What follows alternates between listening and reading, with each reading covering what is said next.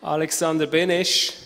Er ist unser Haudegen. Er musste jetzt bis in die letzte Konsequenz ausharren wie ein Rennpferd im Stall. Er ist unser Haudegen. Ich würde ihn als Wandel des Lexikon des Wissens bezeichnen. Ich habe nie einen Menschen kennengelernt, persönlich, einen Jüngeren, der mehr äh, einfach Bildung oder Wissen hatte.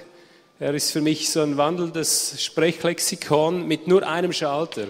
Den kannst du nur leise oder laut stellen. Weil es ändert nichts, wenn du ihn leise stellst, er spricht weiter.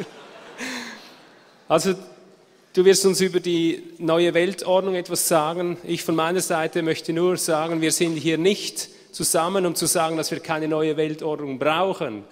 Ganz sicher braucht es eine neue Weltordnung. Aber was ich mir persönlich wünschte, ist so eine, wo das ausgeht, was da vorher aus dem Lied gekommen ist. Das ist das, was ich dazu sagen möchte. Und ich glaube daran, dass es möglich ist, dass eine, eine Zusammen, äh, wie soll ich sagen, ein Zusammenleben möglich ist, wo immer dieses, was wir vorher gespürt haben, Zentrum ist von der ganzen Regentschaft. Aber ich weiß nicht, was du uns jetzt sagen wirst. Wir sind noch in düsteren Zeiten.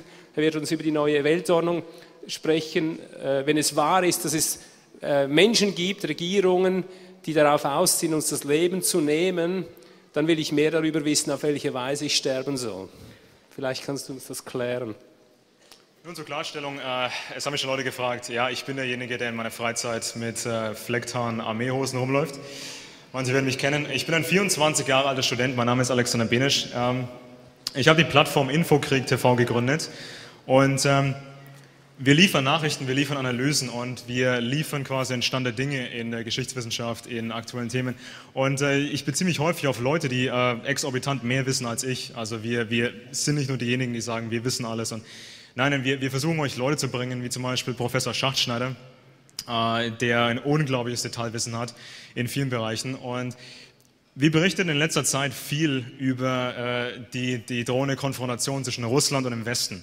Ich meine, an keinem wird es wahrscheinlich vorbeigegangen sein. Die Situation ist, äh, manche beschreiben es als neuen Kalten Krieg und äh, wir sehen Politiker wie äh, viele in Amerika, wie Sarah Palin und äh, McCain, wie sie reden von einem möglichen dritten Weltkrieg. Und sie reden davon so lapidar, als wäre das tatsächlich eine realistische Option. Überlegen wir uns, wir haben nicht nur Nuklearwaffen, wir haben gentechnisch verbesserte biologische Kampfstoffe. Wir haben Neutronenbomben und noch viel mehr Dinge. Und äh, es ist natürlich dann dadurch logisch anzunehmen, dass die Welt wohl kaum einen dritten Weltkrieg überstehen wird. Also wir reden hier von der Menschheit. Also das können wir uns wohl kaum, äh, kaum leisten. Natürlich, jeder normal denkende Mensch, der jetzt das beobachtet, was passiert, die, die Provokationen, das Aufrüsten, die, die Drohungen, jeder normal denkende Mensch muss sich fragen, äh, hat denn die Staatswissenschaft in mehreren tausend Jahren äh, nichts, nichts Anständiges hervorgebracht? Ja, konnten die nicht in, in so vielen Jahrhunderten und Jahrtausenden endlich eine Lösung bringen für dieses Dilemma? Also wir drehen uns im Kreis und im Kreis. Und ähm, an der Universität lernt man schon im ersten Semester die verschiedenen Grundtheorien und äh, die Fragestellung, was ist die beste Staatsform? Äh, die beste Staatsform definieren natürlich moralische Menschen als, welche Staatsform dient dem Gemeinwohl am meisten? Und natürlich das, das erweiterte Gemeinwohl ist der sogenannte Weltfrieden. Okay, jetzt werden viele von euch wissen, dass äh, eigentlich so gut wie jeder Despot den Weltfrieden halt eben ankündigt als das große Ziel. Also wir dürfen es nicht natürlich für bare Münze nehmen und die Frage ist natürlich dann äh, von entscheidender Bedeutung. Welches System ist das Richtige? Wie schaffen wir endlich diesen Weltfrieden? Ich meine, wir sehen jetzt in der Schweiz einen Teilchenbeschleuniger, wir haben internationale Raumstationen. Warum sind wir in der Staatslehre so hinterher? Und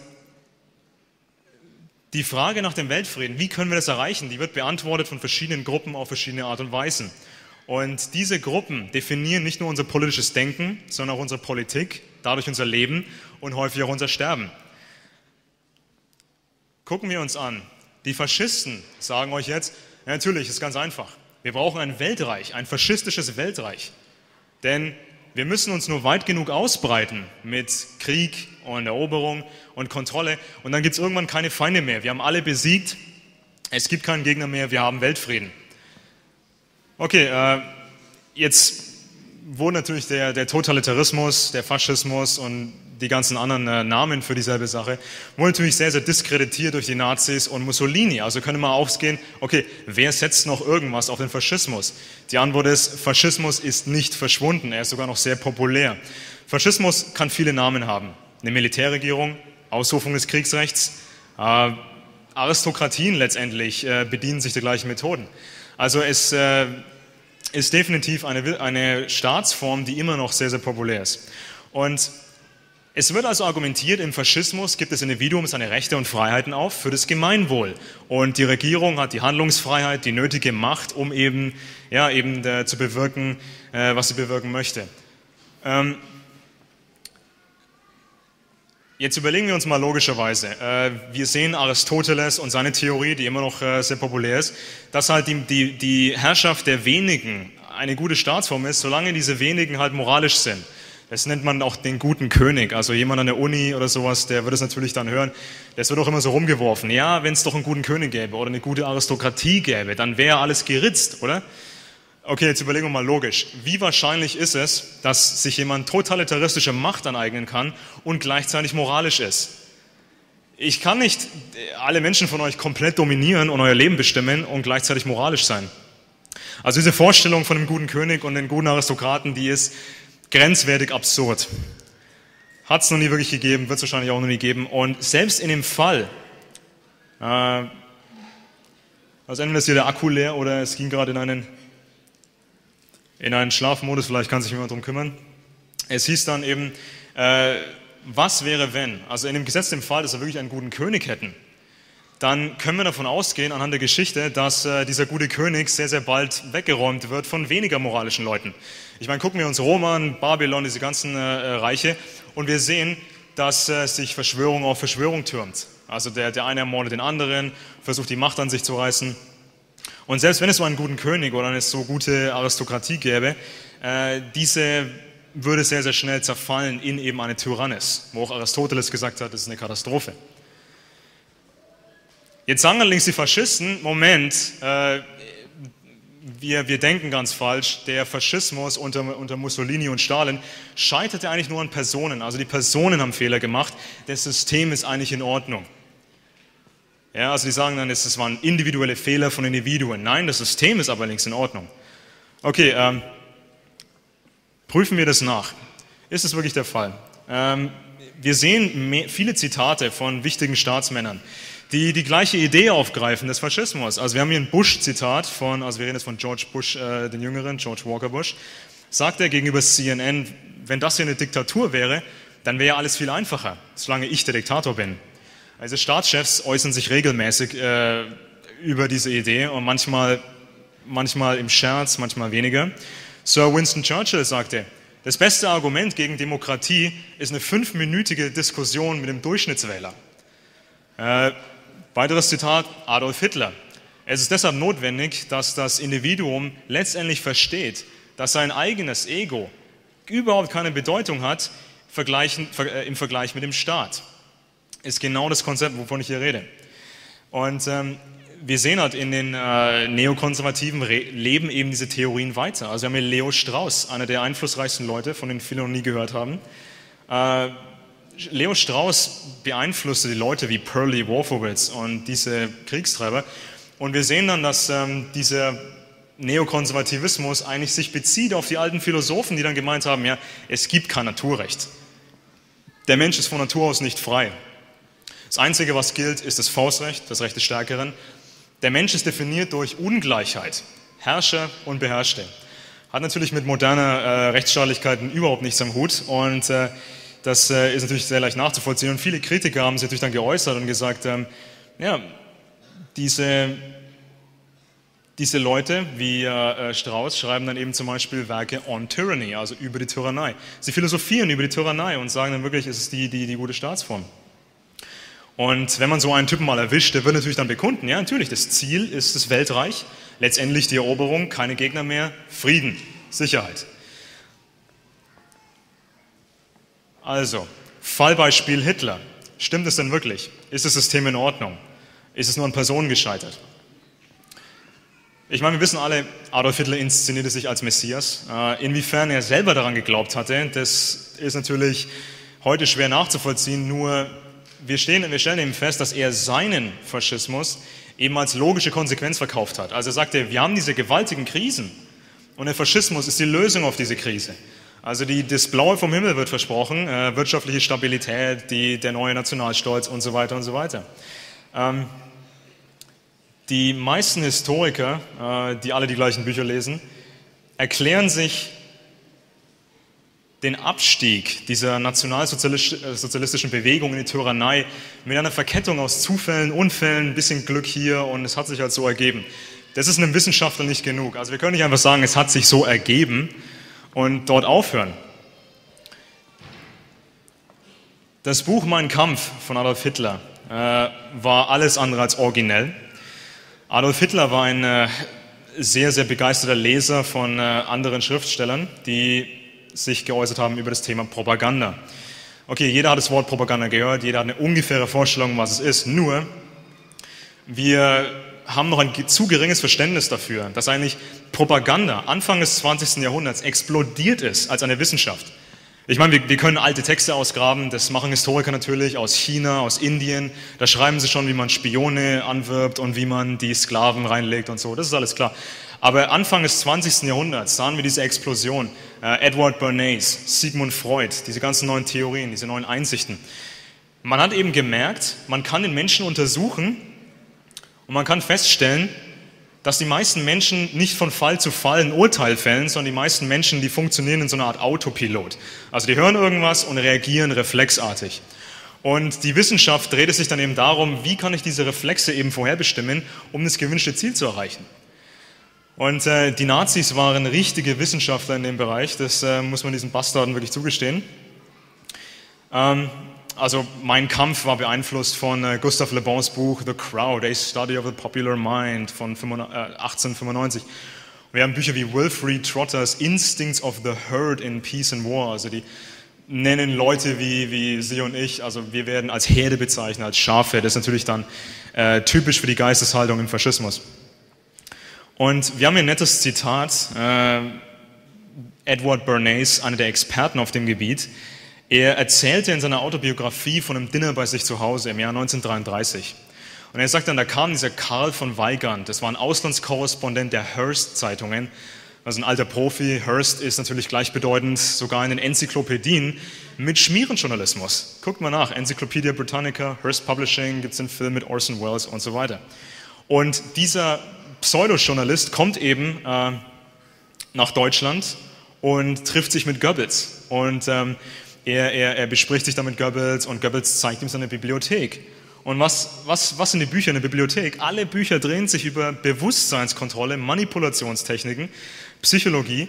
Und ähm, dieser Journalist von Hearst sagte dann richtig beeindruckt, Mann, das ist die beste Bibliothek solcher Art, die ich jemals gesehen habe.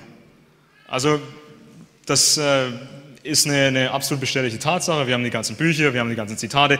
Keiner streitet es ab. Nur, warum lerne ich das nicht in meinem Abitur-Geschichtsbuch? Ich meine, ist es nicht interessant, festzustellen, was eigentlich äh, diese ja, Tyrannen, diese, diese Faschisten eigentlich äh, überhaupt erst in diesen Status erhebt. Also was ist die Grundlage ihrer Macht? Ist es einfach nur ein bisschen Propaganda oder ist es vielleicht wirklich eine sehr, sehr komplexe Wissenschaft?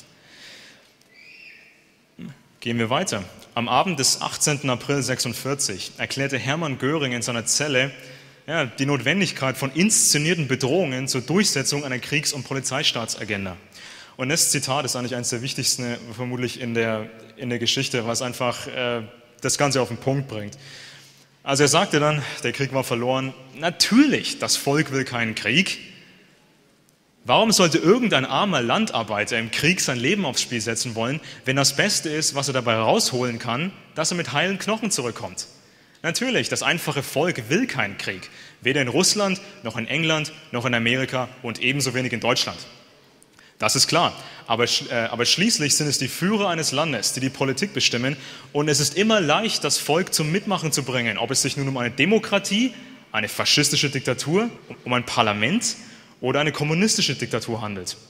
Das Volk kann mit oder ohne Stimmrecht immer dazu gebracht werden, den Befehlen der Führer zu folgen. Das ist ganz einfach. Man braucht nichts zu tun, als dem Volk zu sagen, es würde angegriffen und den Pazifisten ihren Mangel an Patriotismus vorzuwerfen und zu behaupten, sie brechen das Land in Gefahr. Diese Methode funktioniert in jedem Land. Zitat Ende.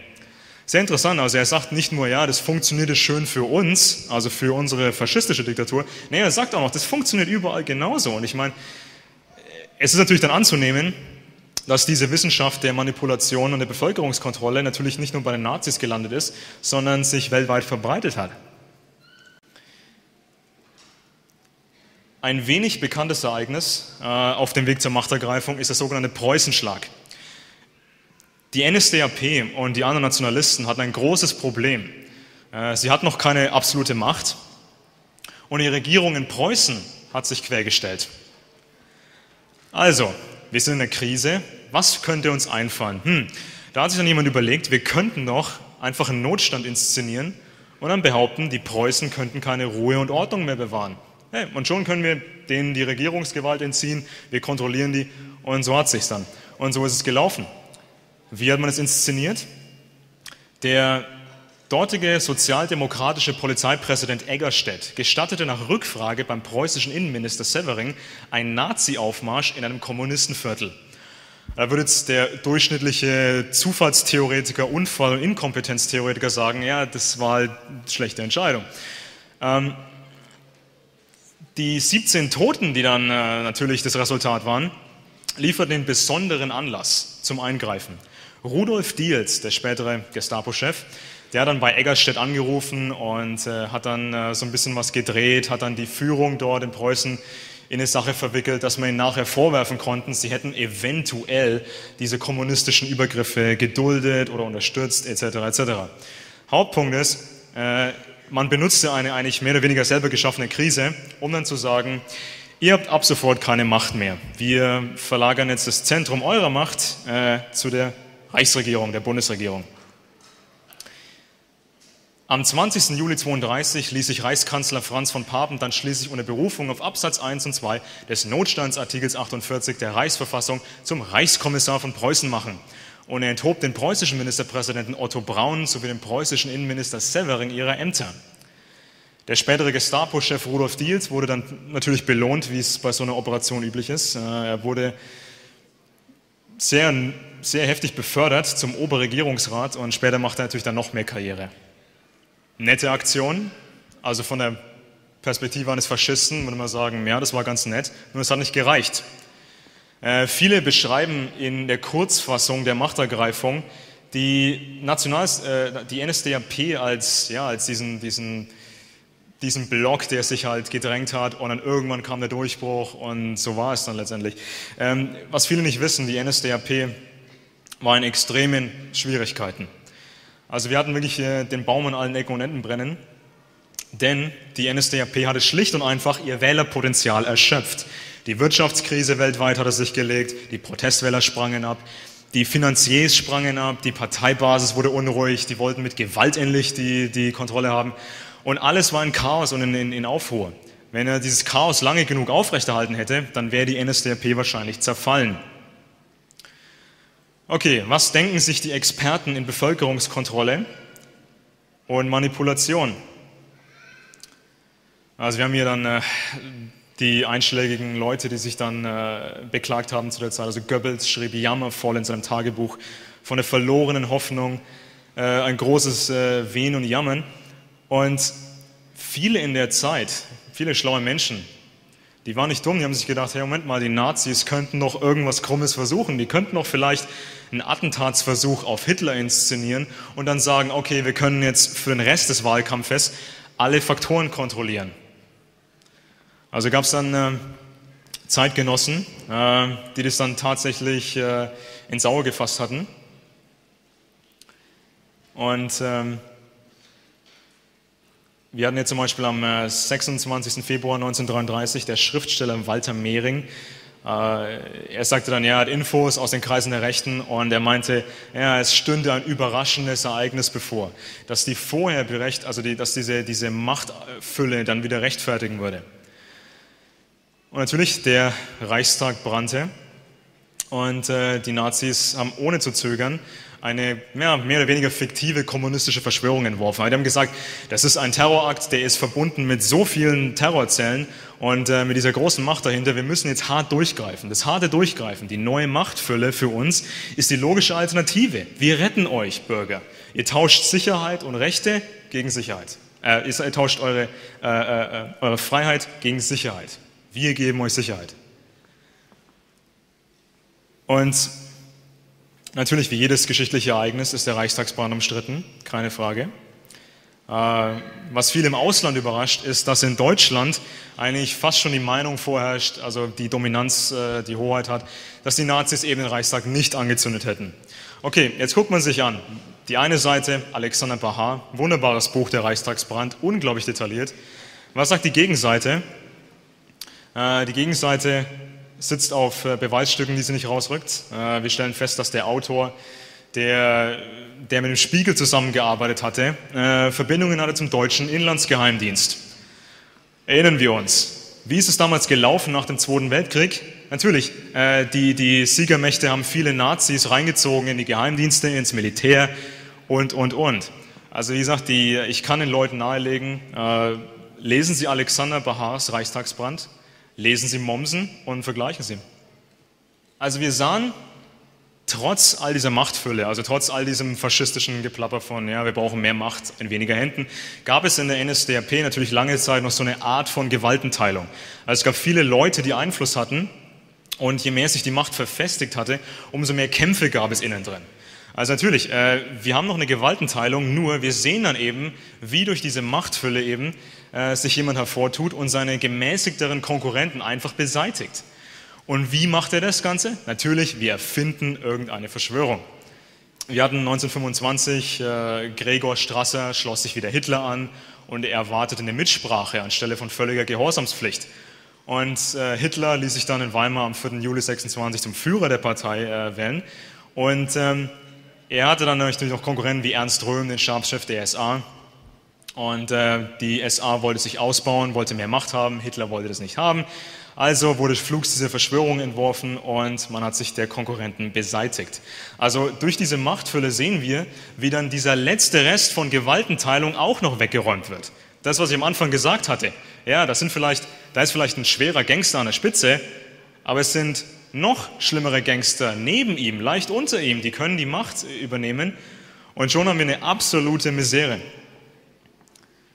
Also ihr könnt das alles lesen, das ist äh, äh, bekannte Geschichte. Wir, wir sehen, wie Röhm mit anderen SA-Führern am 30. Juni verhaftet worden ist und äh, wurden dann am 1. Juli 34 in der Zelle erschossen. Und wie gesagt, das Ganze war ein, eine Farce, wie wir sie kennen aus solchen Systemen. Natürlich äh, ein, die Aneignung von Österreich, die anderen Kriege. Natürlich kann man es nicht einfach so machen. Äh, wir brauchen natürlich dann den passenden Vorwand. Was sahen wir? Operation Himmler. Die Nazis dachten sich, wir inszenieren eine Serie an Terroroperationen, schieben sie einfach mal den Polen in die Schuhe und dann haben wir den Vorwand. Das heißt, wir haben natürlich dann die passende Krise, können unsere, unseren Faschismus als Lösung anbieten, als quasi die Stabilität, die den Frieden wiederherstellen soll.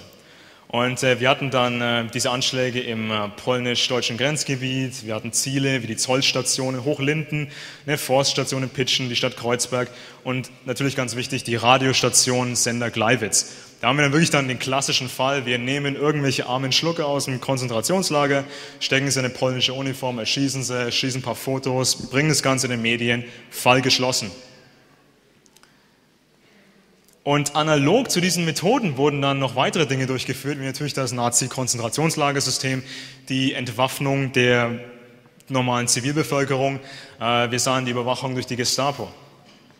Also wir sehen, dieses zentralistische System des Faschismus ist vollkommen ungeeignet. Ich meine, wir sehen jetzt in Amerika, wie diese Weltreichansprüche eben auftauchen. Und das heißt eben, ja, wir müssen nur mehr, mehr Gewalt anwenden, wir müssen nur mehr erobern und irgendwann haben wir alle unsere Feinde besiegt. Und äh, im Zeitalter von Nuklearwaffen ist es natürlich ein fataler Gedanke. Also, kommen wir zum nächsten System, der Kommunismus. Die Kommunisten sagen natürlich, wir haben noch keinen Weltfrieden, weil wir noch keinen Weltkommunismus haben. Wenn wir nur ein kommunistisches Weltreich hätten, dann gäbe es Frieden, es gäbe keinen Gegner mehr, es gäbe keine Ausbeutung mehr, alles wäre dieses große Utopia. Und äh, natürlich, die Kommunisten nennen sich halt meistens dann jetzt Sozialisten, äh, geben sich ein bisschen friedfertiger und ähm, der Sozialismus ist immer noch sehr, sehr populär. Ähm, wir sehen dann, dass äh, wieder eine sehr, sehr bekannte Argumentation verwendet wird. In einem sozialistischen, kommunistischen Staat gibt das Individuum seine Rechte auf, seine Freiheiten auf und wird dafür von dem Staat beschützt. Also der, der Bürger gibt seine Rechte auf für das Gemeinwohl. Okay, kann dieses System wirklich eine Utopia schaffen? Äh, wir sehen halt, dass äh, die Vertreter des Sozialismus auch behaupten, ja, Stalin, also diese Stalin-Diktatur, das ist an Personen gescheitert. Das System ist vollkommen in Ordnung. Und ich meine, ihr seht ja jetzt noch im Parteikampf, da kämpfen dann die Rechten gegen die Linken. Diese verschiedenen äh, uralten äh, Theorien werden immer und immer wieder aufgewärmt. Und die Sozialisten sagen, ja, natürlich können wir, einen, können wir einen kommunistischen Weltstaat schaffen. Wir hätten alles Utopia.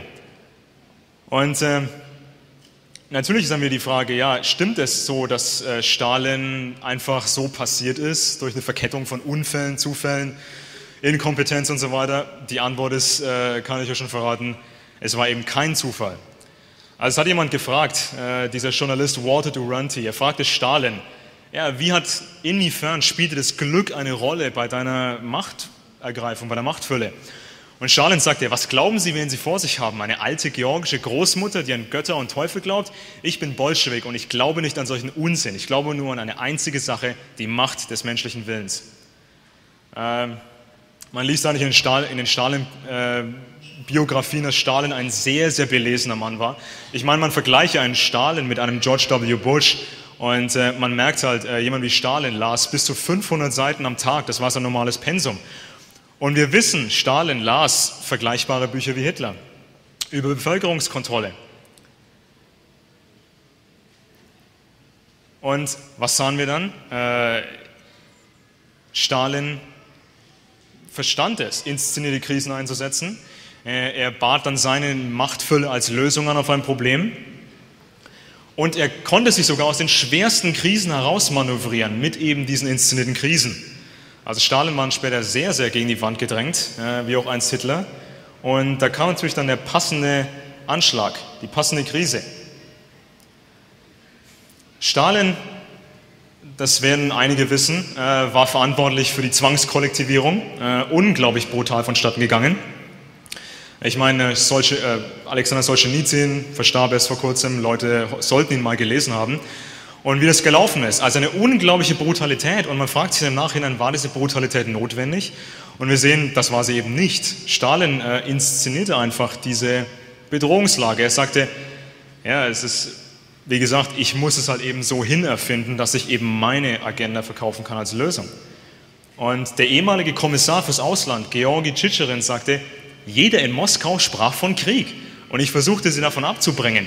Niemand plant uns anzugreifen, sagte ich. Dann klärte mich ein Kollege auf. Psst, das wissen wir, aber wir brauchen das gegen Trotzki. Und ähm, Stalin inszenierte dann die Schachti-Schauprozesse. Also er sagte dann, es gibt dann diese große Verschwörung, diese Industriepartei, die würde sich in Terrorzellen organisieren, die wäre überall. Und Stalin konnte dann mit dieser fiktiven Organisation eben nicht nur seine, seine Kontrolle äh, ausweiten, sondern er konnte noch die ganzen Fehler seiner eigenen Politik diesen angeblichen Verschwörern und Saboteuren anhängen. Also wenn man alles viel zu schnell macht, dann äh, geht natürlich was schief. Also der, wie gesagt, dann äh, ist die Sicherheit bei Bauprojekten natürlich nicht gegeben, das ist klar. Nun kommt Stalin und sagt, ja, das ist nicht meine Politik gewesen, das waren eben diese, diese bösen Verschwörer. Und diese ganze diktatorische Aneignung von Macht, diese Durchsetzung, diese Ellenbogentaktik von Stalin, die machte ihn sehr, sehr unbeliebt. Ich meine, es gab zu dem Zeitpunkt auch noch ein Minimum an Gewaltenteilung. Es gab rund 2000 hohe Abgeordnete in der kommunistischen Partei. 2000 Leute ist immer noch Gewaltenteilung. Stalin äh, hatte sich nur Stück für Stück diese alleinige Macht angeeignet. Und ja, hier würden ja die, die heutigen Vertreter des Sozialismus, Kommunismus argumentieren, ja, es, es, es kann doch funktionieren. Wir haben noch Gewaltenteilung und ähm, das ist doch durchaus möglich. Jetzt sehen wir, was passiert ist. Stalin war mit dem Rücken gegen, der, gegen die Wand gestanden. Die Parteiführung hat ihn gehasst. Sie wussten, er war kein tadelloser Revoluzer. Äh, sie wussten, dass Lenin eigentlich eine schlechte Meinung von ihm hatte. Stalin war prinzipiell unbeliebt, sein Führungsstil war unbeliebt und seine Politik war natürlich katastrophal. Okay, was macht Stalin in so einer Situation? Natürlich, er braucht die passende Krise. Die anderen Parteiführer äh, favorisierten einen, einen, Mann namens äh, Sergei Kirov. Die wollten quasi Stalin ersetzen durch Kirov und dann würde sich alles wieder dem Besseren zuwenden. Kirov war sehr viel gemäßigter als Stalin, war ein tadelloser Revoluzer nach deren Standards und schien die wesentlich bessere Alternative. Also Kirov war relativ beliebt und Stalin in der Krise. Also schlagen wir doch zwei Fliegen mit einer Klappe. Ich inszeniere heimlich ein Attentat auf Kirov, werde meinen Konkurrenten los und schiebe das Attentat meinen anderen Konkurrenten in die Schuhe. Und genau das wurde durchgezogen. Eines der, Histor eines der akkuratesten Bücher ist äh, das Werk Revolution from Above. Äh, wir sehen dann, wie Stalin das Ganze vorbereitet hatte. Also er wusste, äh, ich kann zum Beispiel den Polizeikommissar der NKVD ersetzen durch jemanden, der mir gesonnen ist und nicht Kirov. Ich kann irgendeinen labilen Menschen wählen als denjenigen, der den Abzug drückt.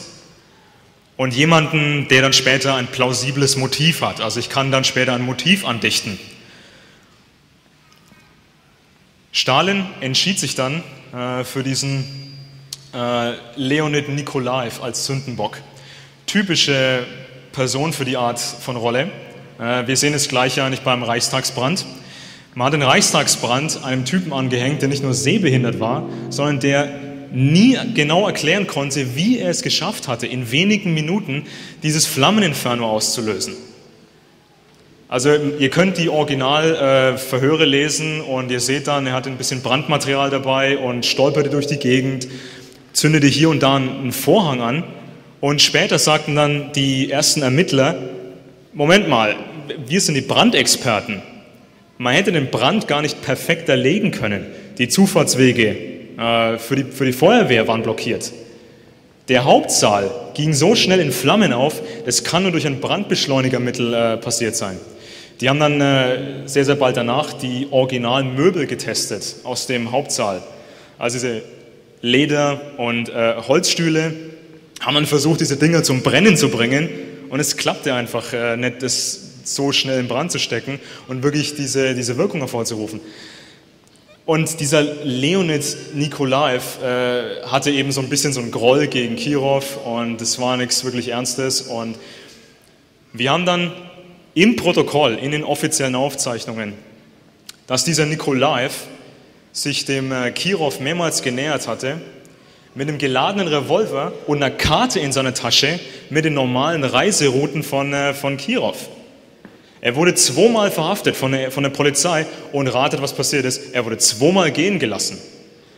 Also wenn jemand euch hinterherläuft mit einer geladenen Waffe und einer, einer Karte, wo eure normalen Wege eingezeichnet sind, äh, da sollte man ermitteln, das ist ganz klar. Nur Stalin hatte eben vorgesorgt, er hatte den Polizeichef ausgetauscht und konnte natürlich dann den, äh, den doch recht untalentierten, äh, wenig begabten äh, Attentäter eben dann freilassen. War das Ganze dann mehrmals verschoben. Es gelang dann in der Smolny, also in diesem Regierungsgebäude, mal den, den Leibwächter abgelenkt, der Schuss ist gefallen, man hat diesen Attentäter eben gefangen genommen, man hat ihn dann mehrmals verhört. Wir haben sogar Augenzeugenberichte, die sagen, ja, also er hat eben zugegeben, es war eine, eine Aktion der, der, Regierung. Und ähm, natürlich folgt dann der übliche Schauprozess. Äh, da wurde dann ordentlich vorher gefoltert und man hat dann genau gesagt, sieh her, das ist das Drehbuch und so wirst du das vorlesen. Ähm, dieses Attentat wurde natürlich dann sehr, sehr groß ausgebeutet. Äh, Stalin machte seine Konkurrenten verantwortlich, hat dann quasi seine eigene ja, Reichstagsbrandverordnung durchgesetzt und ähm, hat 14 Angeklagte hinrichten lassen. Und das war dann der Startschuss für den roten Terror, also die richtig großen Säuberungsaktionen. Und da sehen wir wieder das Scheitern der Gewaltenteilung in so einem System. Ja, die mögen vielleicht anfangen und denken, ja, wir sind 2000 äh, äh, äh, sozialistische obere Parteimitglieder. Wir haben Gewaltenteilung, das kann funktionieren. Nur dann sehen wir, wie diese Taktiken verwendet werden, um diese Gewaltenteilung aufzuheben. Und ich meine, viele Leute hatten damals schon gesagt, ja, also das war wahrscheinlich Stalin selber. Wir haben natürlich dann die Geschichtswissenschaftler, die das Ganze endlos untersucht haben und wir haben natürlich die ganzen Fakten jetzt vor uns liegen.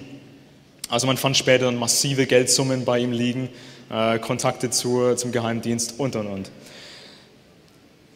Die junge Journalistin, das ist ein interessantes Zitat, die junge Journalistin Vera äh, Panova sagte, wer hat ihn getötet? Frage ich. Keine Antwort kommt. Aber ich weiß, was jetzt geschehen wird. Immerhin hatte ich über den Reichstagsbrand geschrieben. Und dieselbe Nacht habe ich einen Traum, aber ich wage es nicht einmal, ihn Boris zu erzählen. Die selbst haben Kirov getötet, um einen neuen Terror zu starten. Gegen wen? Gegen die Linken, gegen die Rechten, gegen jeden, den sie wollen. Stalin brauchte natürlich dann eine noch größere Krise, um seine Macht endgültig zu zementieren.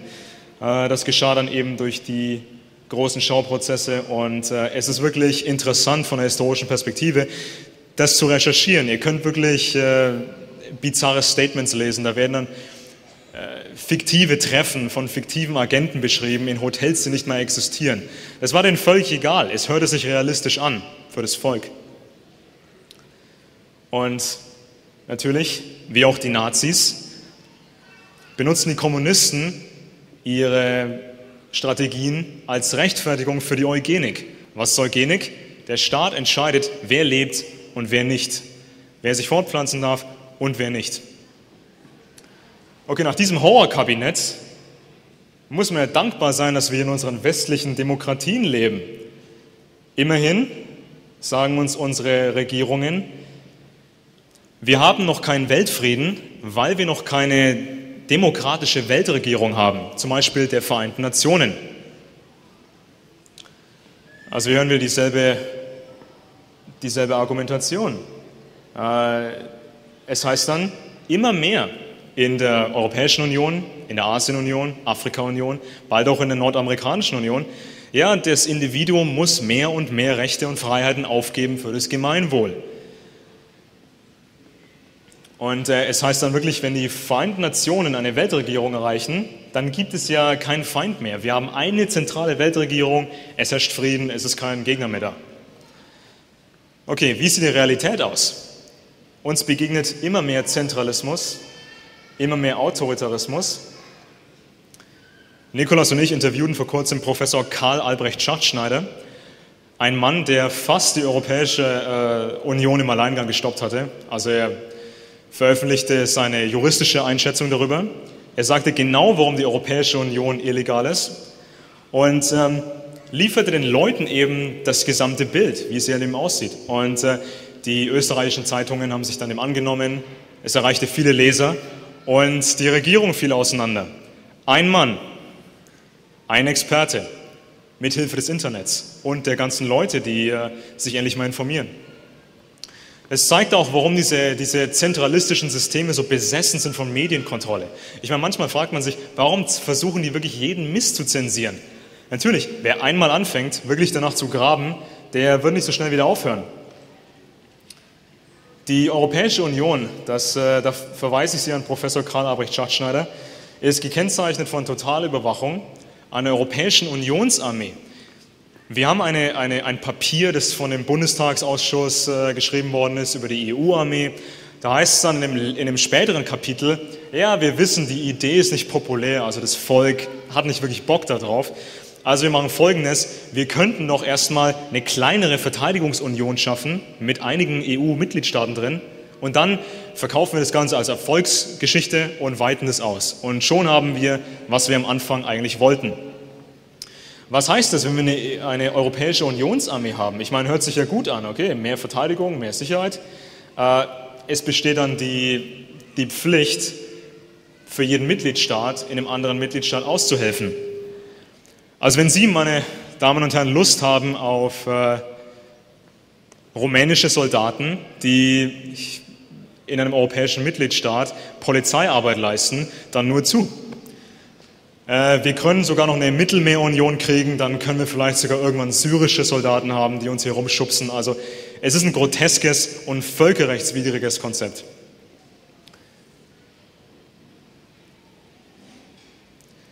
Und wie schon erwähnt, es gibt die Bestrebungen für eine nordamerikanische Union. Da haben wir auch den Professor Schachtschneider darauf angesprochen. Er sagte, ja, er hat davon gehört. Und er sagte auch, ja, die gründen diese verschiedenen Unionen und fügen diese Unionen dann zusammen zu dem eigentlichen Ziel der Weltregierung, die sich halt demokratisch nennt. Okay, Können wir noch weitere Parallelen aufzeigen zu dem sozialistisch-kommunistischen Modell, dem faschistischen Modell und dem, was wir jetzt erleben? Sprechen wir über Folter. Stichwort Guantanamo Bay. Äh, ich denke, jeder wird ein paar Fotos gesehen haben. Äh, ich darf Sie darauf hinweisen, dass die Fotos, die in den Medien veröffentlicht worden sind, die harmlosesten Fotos waren, die existierten.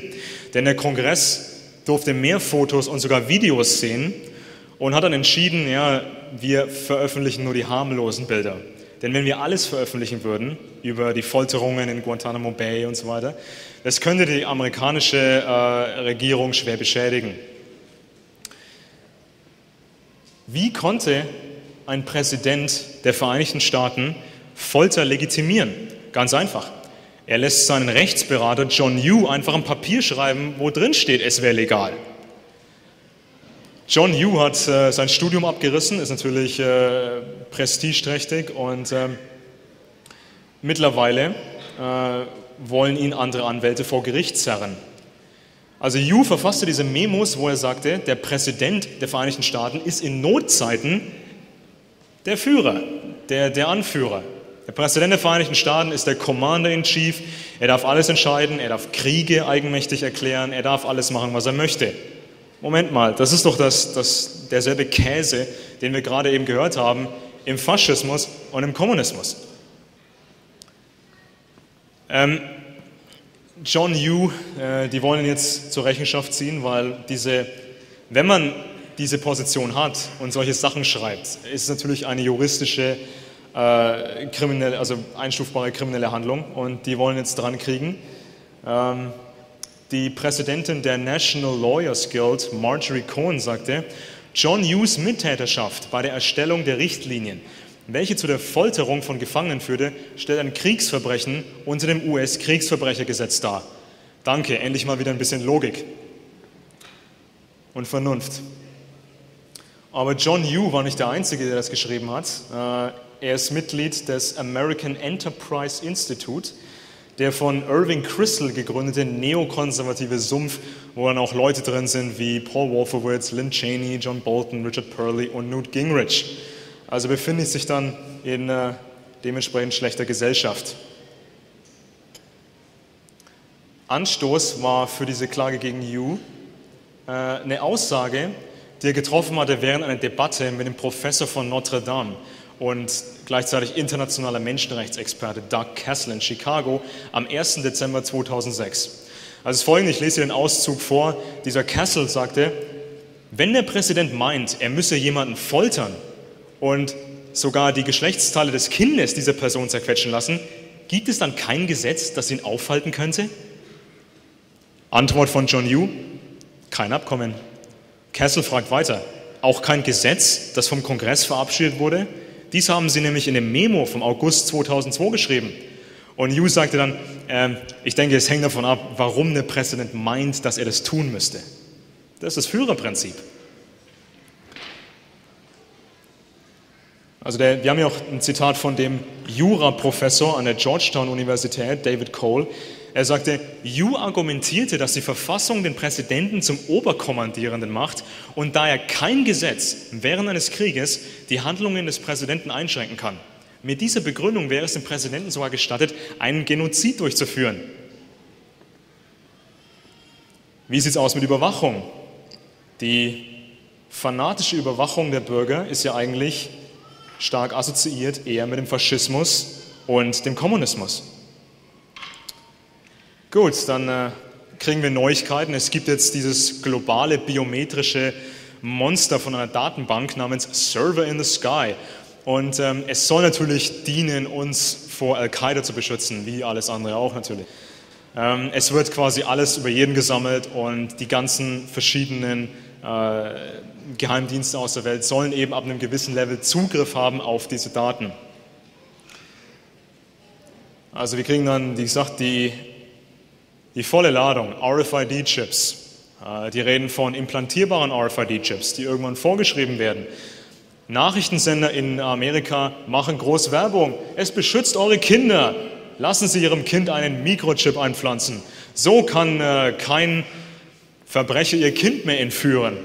Moment mal, jeder halbwegs intelligente Verbrecher kann so eine Technologie sehr leicht umgehen.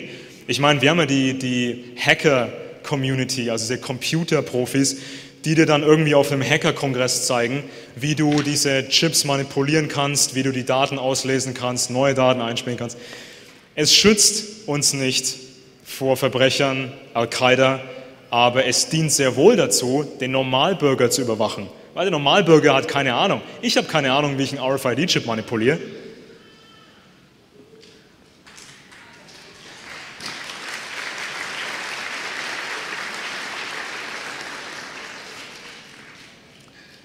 Und natürlich das Internet in seiner jetzigen Form ist Bush und den anderen Leuten in seiner Bagage ein Dorn im Auge. Und sie hatten dann äh, äh, ein Strategiedokument entworfen für, Zitat, den Sieg im Krieg gegen den Terror.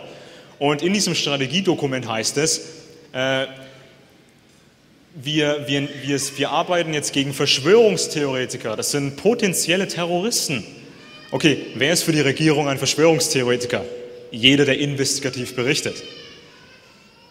Ähm, es hieß dann, ja, die Terroristen würden das Internet benutzen und äh, es wären nicht nur diese Moslems, es wären auch ganz normale Amerikaner. Und sie würden das Internet als Terrortrainingsbasis benutzen. Sie würden neue Leute anwerben. Äh, der Heimatschutzminister Chertoff kündigte an, ich werde jetzt neue Heimatschutzagenten haben und die werden natürlich dann äh, verhindern, dass das Internet als politisches Werkzeug benutzt wird. Okay, wie sieht es aus mit Truppen im Inland? Natürlich ein absolut äh, bekannter äh, äh, Faktor in einem faschistischen Regime, auch im kommunistischen Regime. Natürlich musst du die eigene Armee einsetzen dürfen gegen die Bürger. Und damit es gut funktioniert, musst du die normalen Bürger vorher natürlich entwaffnen. Und ähm, ich möchte festhalten, äh, natürlich wäre die Vorstellung schön, dass wir jegliche Schusswaffen einfach so aus der Gesellschaft entfernen können, aber das ist nicht realistisch. Und Geschichtswissenschaftler äh, müssen eigentlich zugeben, dass äh, in den großen Genoziden, vor allem im 20. Jahrhundert, aber nicht nur im 20. Jahrhundert, dass bei all diesen Fällen die potenziellen Opfer vor dem Genozid systematisch entwaffnet worden sind. Äh, ich telefonierte kürzlich mit äh, Aaron Zellman von der Gruppe Jews for the Preservation of Firearms Ownership in Amerika. Äh, eine Gruppe, die sich einsetzt für das Recht auf zivilen Waffenbesitz. Und die bringen einen hervorragenden Dokumentarfilm raus, in dem es eben nicht darum geht, dass irgendwelche Waffennarren oder paranoide Leute jetzt auf Leute schießen möchten, sondern es wird eben aufgezeigt, die Originallegislatur, Ruanda, Nazi-Deutschland, China, Kambodscha, die Liste ist endlos. Und wir sehen diese systematische Entwaffnung. Und dann kommen die Truppen als Polizei im Inland. Am 8. September berichtete die Publikation Army Times, dass US-Truppen, die aus dem Irak zurückkehren, ab 1. Oktober in Amerika patrouillieren werden. Und das Ziel dieser Aktion ist, sie möchten Unruhen in der Bevölkerung äh, vermeiden und sie möchten Menschenmengen kontrollieren, die außer Kontrolle geraten. Äh, was ist hier das Problem? Es gibt ein Gesetz namens Posse Comitatus in Amerika. Das Gesetz sagt schlicht und einfach, es ist verboten, außer in ganz bestimmten Fällen, dass man die Bundestruppen einsetzt gegen die eigenen Bürger. Und es, das Gesetz Posse Comitatus wurde nie abgeschafft. Genauso wenig wie die, die Verfassungszusätze. Also was macht die Bush-Administration hier? Sie schafft ein paralleles Rechtssystem. Das heißt, die Verfassung verbietet zum Beispiel die ungerechtfertigte Durchsuchung und Beschlagnahmung. Wenn es keinen begründeten Verdacht gibt, darf mich ein Polizist nicht durchsuchen, er darf nichts beschlagnahmen. Nun, Bush setzt nicht einfach hochoffiziell äh, die Bill of Rights außer Kraft, nee, er lässt einfach ein neues Gesetz schreiben und sagt dann, ich darf das jetzt. Also die amerikanischen Bürger werden sehr, sehr bald Bekanntschaft machen mit dem First Brigade Combat Team der dritten Infanteriedivision. Und diese befindet sich unter Kontrolle des US Army North. Das ist die Army Service Komponente des Northern Command. Äh, es wird eine sogenannte Streitmacht der Bundesregierung auf Abruf sein, um auf natürliche oder von Menschen verursachte Notfälle und Desaster zu reagieren, darunter Terroranschläge. Also die Phrasen sind so formuliert, dass eigentlich jede Art von Notstand äh, als Rechtfertigung hergenommen werden darf. Hurricane Katrina, ich denke, wir können uns daran erinnern, wie äh, wundervoll die Regierung ihre Bürger beschützt hatte. Und in dem Artikel wird sogar zugegeben, das ist das erste Mal, dass einer aktiven Einheit ein fest zugeordneter Auftrag von Northcom gegeben wurde. Eine gemeinschaftliche Führung, die im Jahr 2002 geschaffen wurde, um das Kommando und die Kontrolle bereitzustellen für Bestrebungen des Heimatschutzes sowie koordinierte Unterstützung für die Verteidigung von Behörden.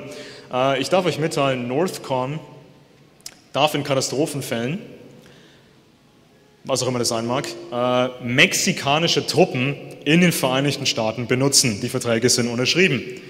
Äh, es dürfen auch kanadische Truppen benutzt werden, aber da die, die meisten Mexikaner durch geschickte Propaganda die Amerikaner hassen, ist es natürlich viel besser. Denn die mexikanischen Truppen werden diese Befehle ausführen. Wir sehen, wie Wall Street-Leute Propaganda finanzieren in Mexiko, wo es dann heißt, La Reconquista, äh, wir, die, die Rückeroberung. Wir holen uns die Südstaaten der Vereinigten Staaten zurück. Und diese ganze rassistische Hetze. Also genau wie bei der Europäischen Union. Plötzlich tauchen dann völlig fremde Soldaten auf und dürfen uns äh, äh, herumschubsen, festnehmen, ohne fairen Prozess. Es wird natürlich dann in Amerika angekündigt als gute Sache. Also die Einheit würde quasi äh, Leuten helfen, die einen Autounfall hätten und so weiter. Also macht euch keine Sorgen, die Armee beschützt euch. Es hat mal jemand gesagt, die Armee ist ein Breitschwert. Die Polizei ist eher so ein Skalpell. Die Armee ist nicht geschaffen für diese Art von Aufgabe. Die Armee ist nicht ausgebildet für diese Art von Aufgabe. Die Aufgabe einer Armee ist zu töten und zu zerstören. Okay, äh, weiter im Horrorkabinett. Wie rechtfertigt George W. Bush eigentlich die Leute über ihm, hinter ihm, neben ihm? Wie rechtfertigen die diese Brüche der Verfassung? Ganz einfach, die äh, erlassen einfach neue Gesetze.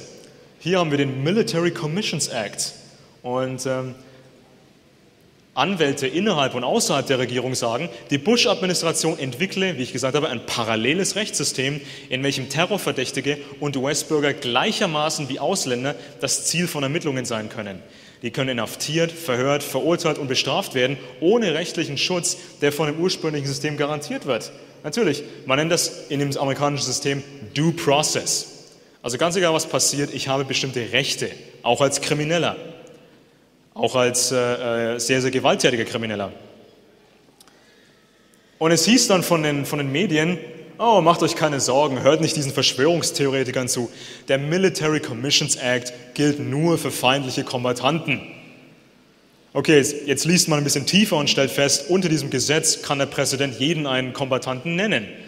Ich meine, das ist der größte Witz, dass sie den Leuten äh, diese, diese Beruhigungsrede äh, halten und dann sagen sie, ein Militärgremium kann sagen, wir haben jetzt entschieden, ich bin kein Bürger mehr, ich habe meinen Status verloren, ich bin jetzt ein feindlicher Kombatant. Und ich meine, diese Rechtsbegriffe, die eigentlich keine sind, werden immer mehr und mehr verwendet. Komme ich gleich noch auf Schäuble zu sprechen. Es wird immer rumargumentiert, ja, äh, diese Typen, die tragen ja keine reguläre Uniform. Die sind keine regulären Soldaten einer äh, souveränen Nation. Also kein Schutz unter der Genfer Konvention, keine Regeln, wir dürfen mit denen machen, was wir wollen. Das ist natürlich vollkommener Quatsch.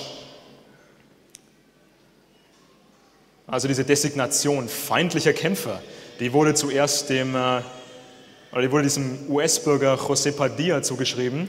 Er saß ohne Anklage für drei Jahre in einem Navy-Gefängnis. Das ist ja auch die, die Methode, die angewandt wird. Die sagen, oh ja, wir, wir garantieren einen richtigen Prozess, aber wir garantieren nicht, dass der schnell vonstatten geht. Also keine Garantien, du kannst ewig in einem Loch sitzen, ohne Beweise, sogar ohne Anklage. Und wir sehen auch in Großbritannien die Bestrebungen, hey, wir wollen ein Gesetz haben, womit wir jeden Bürger für vier Wochen, drei Monate verhaften dürfen, ohne Anklage, ohne Beweise. Der Präventivstaat. Äh, der Rechtsprofessor Bruce Ackerman von der Yale-Universität wurde zitiert in der Los Angeles Times. Er sagte, die Legislatur ermächtigt den Präsidenten, amerikanische Bürger als feindliche Kämpfer zu verhaften, sogar wenn sich jene nie außerhalb der Vereinigten Staaten aufgehalten haben. Sobald sie in ein Militärgefängnis geworfen werden, können sie keine Gerichtsverhandlung erwarten oder eine sonstige Schutzeinrichtung der Bill of Rights. Und ähm, Rechtsprofessor Marty Lederman sagte, diese Subsektion der Definition vom ungesetzlichen feindlichen Kämpfer bedeutet, dass wenn das Pentagon sagt, dass du ein ungesetzlicher Kämpfer bist, egal welche Kriterien das Pentagon einsetzt, dann ist man einer. Ganz egal, ob man tatsächlich Verbindungen zu Terror, Terroristen hat oder nicht. Das ist der berühmte Gummiparagraph. Dann hatten wir den John Warner Defense Authorization Act. Das ist mehr oder weniger eine Ausbreitung der zentralistischen Rechte des Präsidenten. Also der Präsident ist jetzt der Führer in einem Katastrophenfall. Äh, der Präsident darf die die National Guard, die State National Guard kommandieren der einzelnen Bundesstaaten. Wir hatten mal sowas wie Gewaltenteilung in Amerika. Also die, die, die Sheriffs hatten Mitspracherecht, die Gouverneure hatten Mitspracherecht. Es war eine Gewaltenteilung, das gab uns Sicherheit. Und ich meine, viele sprechen mich darauf an, ja, was hältst du von Barack Obama? Und es würde sich nicht viel verändern, wenn wir jetzt einen äh, Demokraten im Weißen Haus haben. Denk mal darüber nach, äh, was in der amerikanischen Verfassung eigentlich vorgesehen war von den Gründungsvätern. Der Präsident ist nur der Chef der Exekutive. Das ist alles. Er führt die Gesetze aus, die der Kongress macht und die der oberste Gerichtshof für verfassungskonform erklärt. Mehr nicht. Aber Leute haben mehr und mehr diese Vorstellung, der Präsident ist der Führer und entscheidet über Wohl und Wehe. Wir haben seit langem äh, eine demokratische Mehrheit im, äh, im Kongress. Nancy Pelosi, Nichts hat sich verändert. Ähm, und die Gewaltenteilung fällt mehr und mehr weg. Also wir sehen diese Parallelen zum Faschismus. Es ist wirklich äh, frappierend. Dann hatten wir, wie gesagt, die Liste ist lang, die sogenannte Presidential Decision Directive 51, häufig einfach abgekürzt als PDD 51. Es heißt, Zitat, ein katastrophales Ereignis tauft auch und der Präsident kann mit seinen engsten Vertrauten die Regierung darstellen. Der Kongress hat keine Befugnis mehr. Man nennt das Continuity of Government. Man sagt, was, wenn ein großer Anschlag passiert? Äh, die Regierung wäre handlungsunfähig. Wir brauchen diese Regulierungen, damit notfalls der eine Präsident mit ein paar wenigen Leuten regieren kann. Hört sich vernünftig an. Nur wir haben eben gemerkt, in der Geschichte äh, werden diese Krisen eben gerne selber geschaffen. Also setzen wir uns doch mit solchen Gesetzen einem gewaltigen Risiko aus. Wir geben der Regierung alle Trümpfe in die Hand. Wir geben denen alle Möglichkeiten. Und äh, wir sahen dann auch sehr, sehr frappierend, der Abgeordnete äh, De Fazio, der sitzt im Heimatschutzkomitee und er hat die Berechtigung, geheimes Material einzusehen.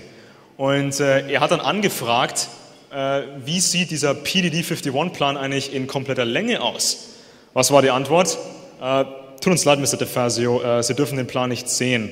Äh, der Grund ist die äh, nationale, nationale Sicherheit. Jemand sitzt im Heimatschutzministerium und darf nicht mal die, den geheimen Plan sehen für die Fortführung der Regierung nach einer großen Katastrophe. Äh, dann natürlich bekannt, der USA Patriot Act war vor 9-11 bereits geschrieben, wurde den Abgeordneten kurz nach 9-11 aufgezwungen. Also wir haben Aussagen von äh, langjährigen Abgeordneten wie Dr. Ron Paul, die dann sagten, ja, äh, da kam Cheney und die anderen und sagten zu den versammelten Abgeordneten, wenn ihr nicht diesem Patriot Act zustimmt, dann machen wir euch für die nächste Terrorattacke verantwortlich. Und die hatten nicht mal einen lesbaren Vertrag zum Abstimmen. Das war so eine Liste aus, okay, äh, dem und dem Gesetz, in, dem, in der Sektion, dem Paragraphen ändert sich die fünfte Zeile. Oder Komma wird ersetzt durch und. Und das kann keiner lesen. Da muss sich jemand monatelang durcharbeiten. Aber die haben es einfach so durch das Parlament durchgezwungen. Der Patriot Act verletzt klipp und klar viele Grundsätze der Bill of Rights der Schutz für die Bevölkerung. Und äh, wir haben in Arbeit den Patriot Act 2. Und wir sehen dann neue dehnbare Begriffe wie die Definition von Terror. Was ist eigentlich Terror? Jetzt steht im Patriot Act 1 drin, äh, Sektion 802, wenn ich mich richtig erinnere, Terrorismus wird jetzt definiert als jede Handlung, die menschliches Leben gefährdet oder ein Gesetz bricht. Das ist die Definition von Terror. Äh, also kann jeder mehr oder weniger irgendwie zu einem Terroristen erklärt werden. Es ist der Gummiparagraph schlechthin.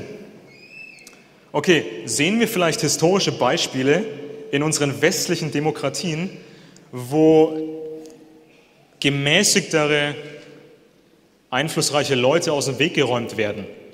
Wir haben es ja gesehen, die Nazis haben es gemacht, äh, die Kommunisten haben es gemacht. Wie sieht es bei uns aus? Nun, äh, ich verweise auf das Attentat auf Lincoln, äh, ich verweise auf das Attentat von John F. Kennedy. Es kommt bald ein neuer, sehr, sehr guter Dokumentarfilm raus, der heißt voraussichtlich Black Sunshine. Und in dem Film seht ihr dann zum Beispiel den Sohn von E. Howard Hunt, einem der bekanntesten CIA-Killer, der sich am Tag des Attentats in Dallas befand. Und der Sohn von E. Howard Hunt lieferte uns Tonbänder von seinem Vater, wo er quasi die Tat gesteht und sagt, warum sie es getan hätten. Also sie sagten dann, also es hieß dann, ähm, ja, wir, wir, wir haben ihn gehasst, wir haben John F. Kennedy gehasst, er, er war zu seicht, er wollte äh, sich mit dem Establishment anlegen, er war nur Ärger, er hat uns nicht Kuba angreifen lassen äh, mit der, mit der Schweinebucht-Nummer äh, und wir hassen ihn, er muss weg. Ja?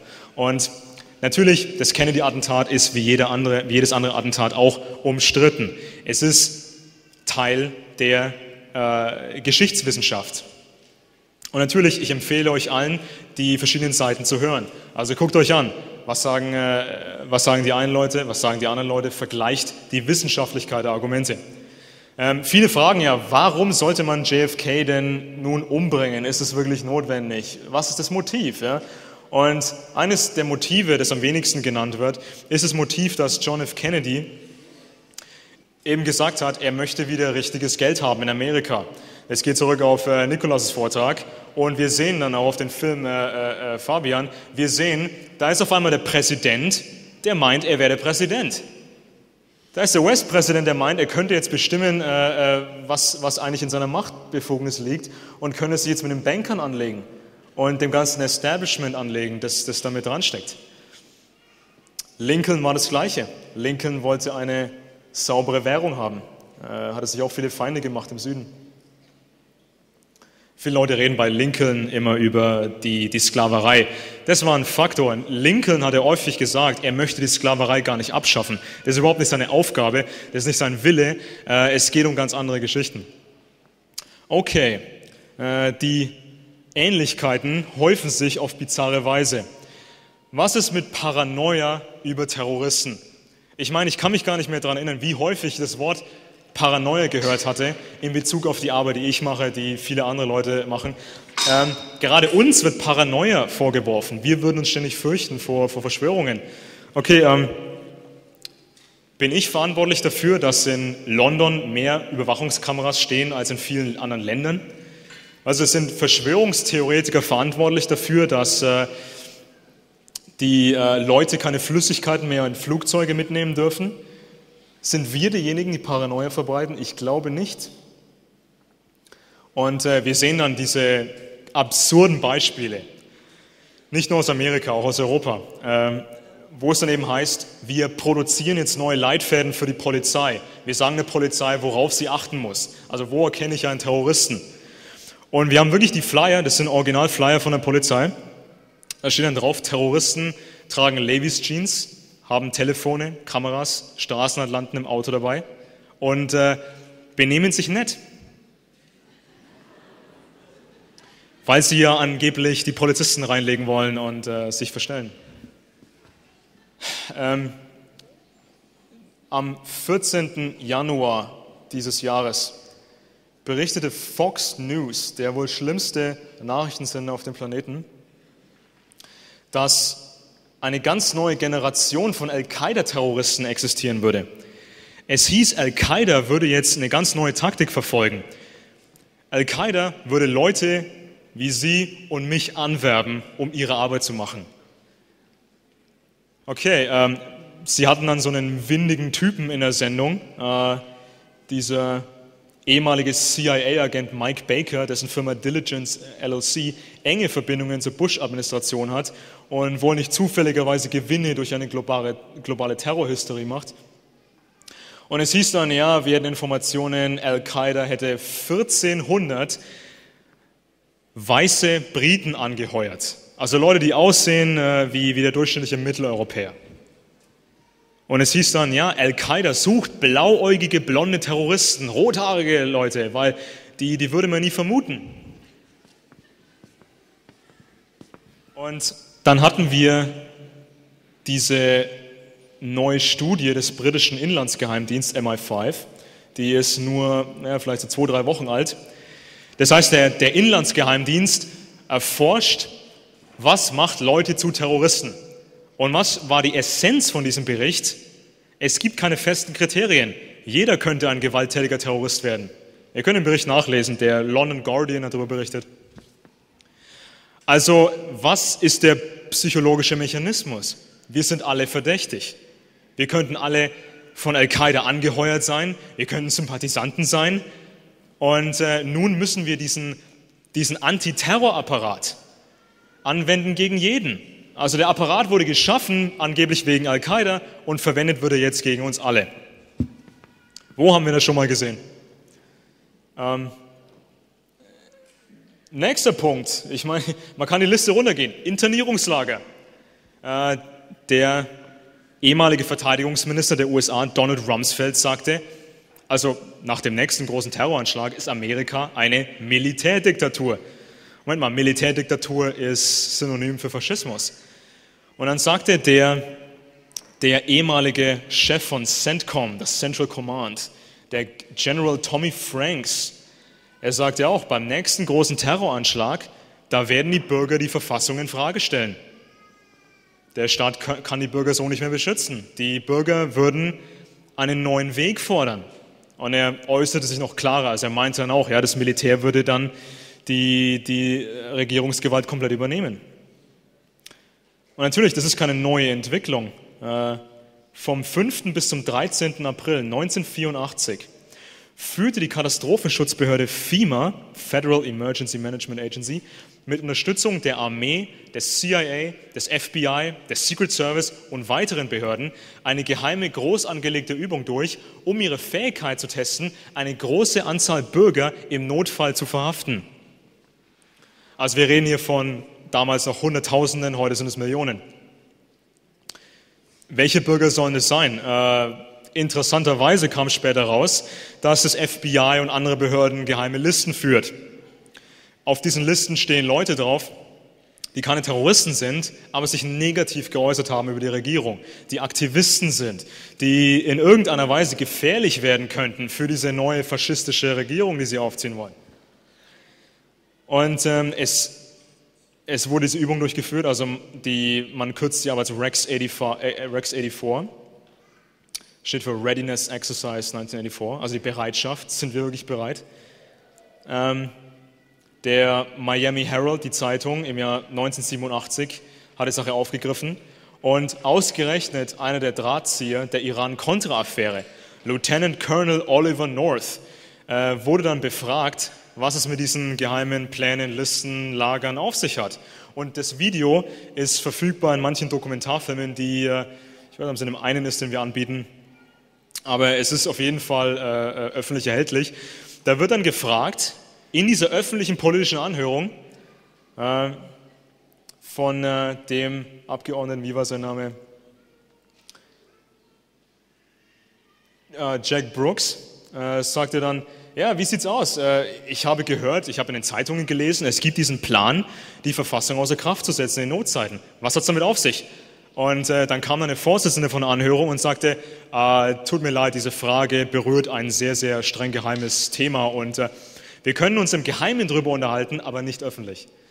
Und wir sahen dann noch die, die ADEX-Liste des FBIs, eine ähnliche Liste mit 325.000 Menschen drauf.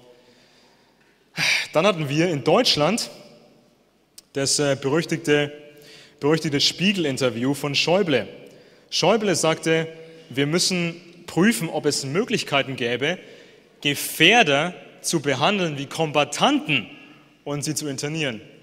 Okay, das ist ein sehr, sehr, sehr große Sprünge, die der Schäuble da macht. Ich habe meinen Freund gefragt, der ist Polizist, was ist ein Gefährder? Keine Antwort. Also er verwendet da Begriffe, die eigentlich aus der Luft gegriffen sind und sagt, ja, diese Gefährder wollen wir per Gesetz behandeln wie Kombattanten und äh, wir wollen sie internieren.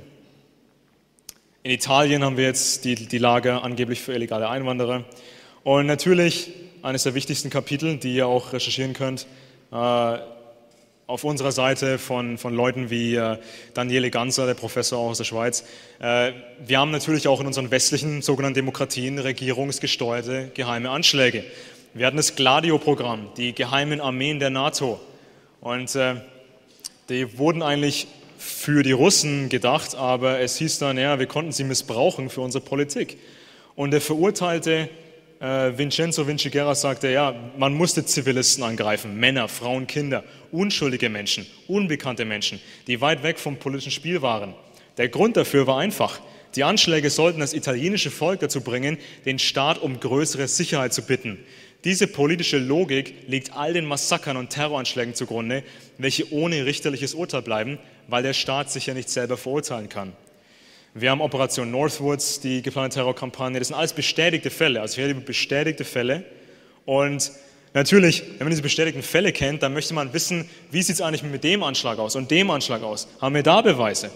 Und es kommen immer mehr äh, akkreditierte Historiker raus. Äh, wir haben jetzt den Elsässer mit seinem Buch, wo er klipp und klar sagt, es gibt in unserem Westen keine großen Anschläge, wo nicht die Geheimdienste richtig dick mit drinstecken. Wir sehen das übliche Muster.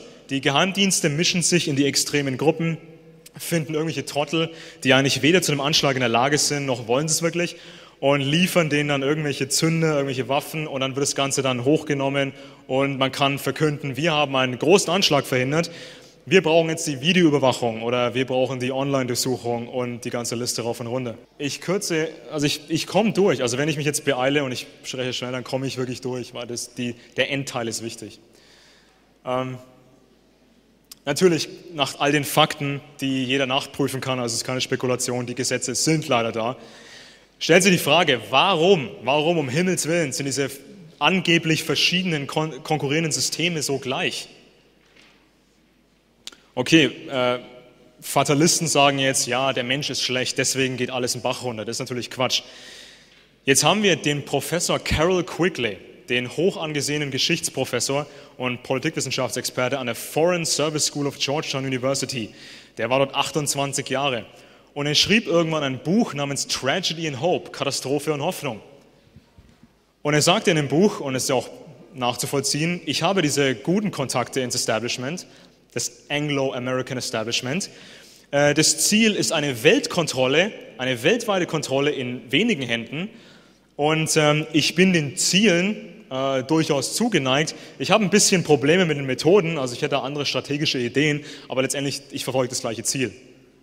Das Buch Katastrophe und Hoffnung, das könnt ihr auf, auf Amazon kaufen. Das ist äh, mittlerweile in der neuen deutschen Auflage erhältlich.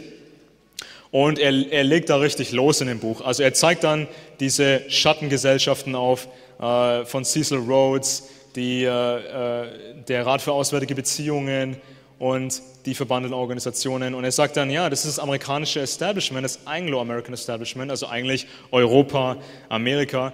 Und die organisieren sich in diesen Schattenorganisationen, diese Quasi-Gremien, entscheiden dort, was läuft. Und die passen darauf auf, dass keine Staatschefs sich etablieren, die nicht Teil von einem Netzwerk sind.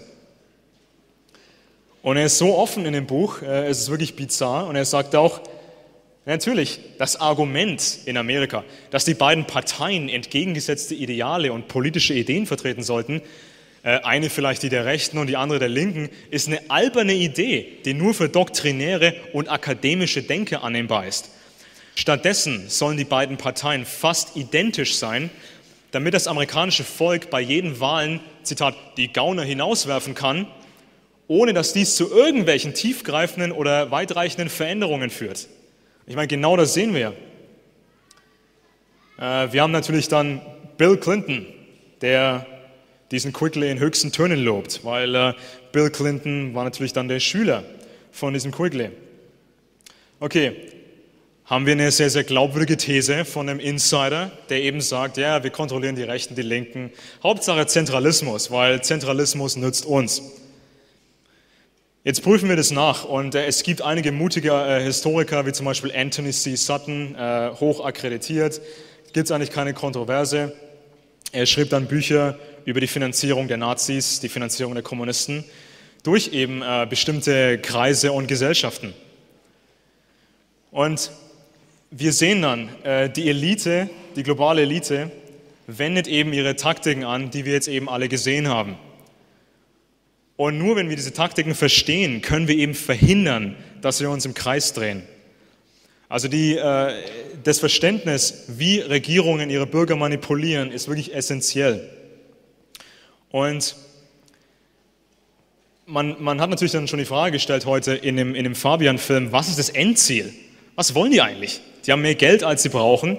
Äh, die haben mehr Macht, als man sich jemals erträumen könnte. Was ist das Endziel? Haben die vielleicht irgendwie noch äh, eins draufzusetzen? Äh, leider ja. Äh, wir sehen unglaublich viele Zitate von der globalen Elite, wo sie eben sagen, wir wollen die Weltbevölkerung reduzieren auf 500 Millionen Menschen. Und jetzt bitte ich einfach äh, unsere Technik darum, den einen Clip zu spielen aus dem Film Endgame, äh, Blueprint for Global Enslavement. Da seht ihr quasi die, die, die Eugenik in der Gesamtheit. Ihr seht, was sie ist, wer dahinter steckt, wie sie umbenannt worden ist und wie sie uns heute unter neuem Namen angedreht wird. Und ich sage euch, es ist richtig ernst. Die Probleme der Pharmaindustrie, ich meine, wir haben jetzt neue Statistiken aus Amerika. Man hat mittlerweile eine 40-prozentige Wahrscheinlichkeit an Krebs zu sterben. Und wie gesagt, jeder kriegt Allergien und alles geht im Bach runter. Die, die Leute sterben an, an, an äh, massenweise an äh, solchen Dingen. Und wir sehen eben die Elite, die halt eben sagt, ja, das ist uns eigentlich ganz recht. Also bitte würde ich bitten, den, den äh, Clip zu spielen über die Eugenik. Und äh, das macht sicherlich einiges deutlicher.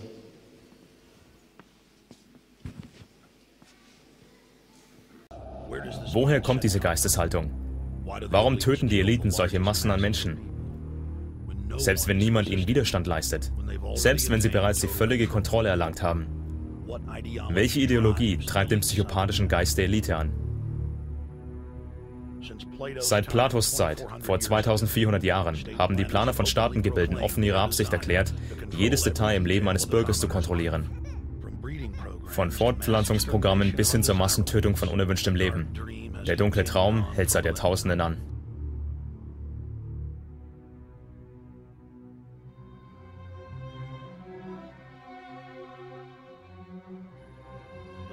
Die wissenschaftliche Rechtfertigung für Tyrannei hat Eliten immer angezogen, weil sie einen bequemen Vorwand dafür liefert, Mitmenschen schlechter als Tiere zu behandeln. Robert Thomas Malthus ist berüchtigt für seine Aussage, dass ein weitreichender Zusammenbruch der Nahrungsversorgung hilfreich wäre, weil dies die Armen ausrotten würde. Sein fiktives Szenario wurde später als malthusische Katastrophe bezeichnet. Malthus ist von Bedeutung, denn seine Ideen führten zu dem Aufstieg eines neuen Wissenschaftsgebietes, welches schließlich den Lauf der Menschheitsgeschichte über 200 Jahre lang bestimmte. Charles Darwin, ein Bewunderer des Konzepts der malthusischen Katastrophe, entwickelte die Theorie der Evolution. Einer der Hauptleitsätze war das Überleben des Stärkeren.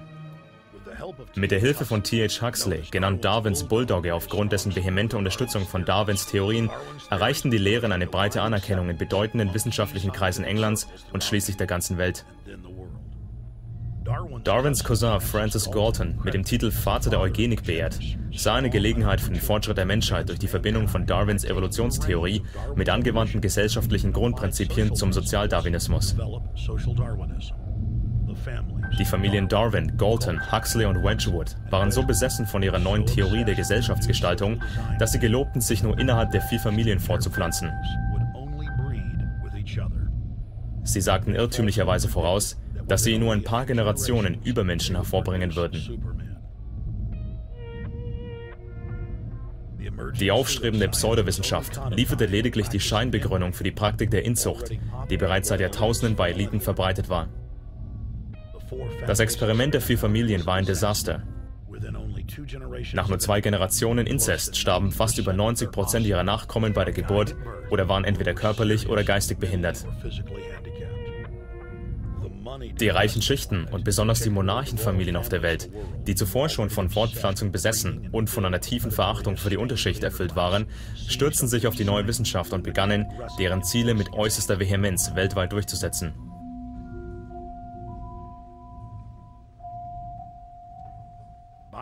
Biometrik erweckt den Anschein einer neuen Wissenschaft. Sie wurde jedoch von Galton in den 1870er Jahren entwickelt, um Rassenmerkmale und genetische Entwicklung zu verfolgen, sowie um zu entscheiden, wer die Erlaubnis zur Fortpflanzung erhalten solle.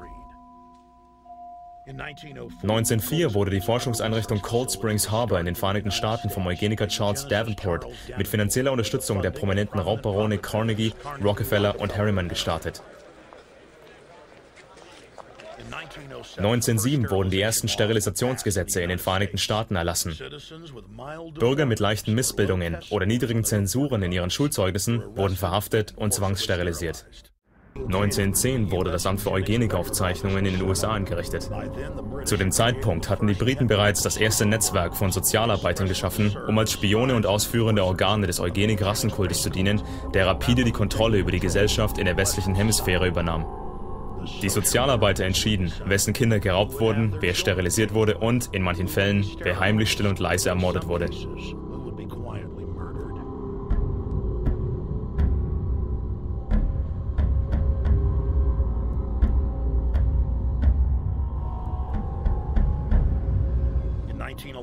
(1911) exportierte die Familie Rockefeller die Eugenik nach Deutschland, indem sie das Kaiser-Wilhelm-Institut finanzierte, welches später zu einem wichtigen Stützpfeiler des Dritten Reichs wurde.